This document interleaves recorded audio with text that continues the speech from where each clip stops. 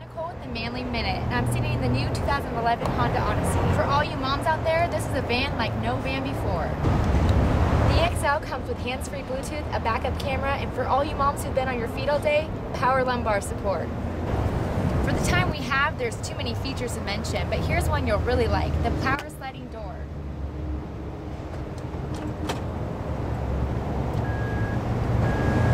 The Odyssey EXL is an eight passenger vehicle, but if you have a lot of cargo, the third row stows into the floor.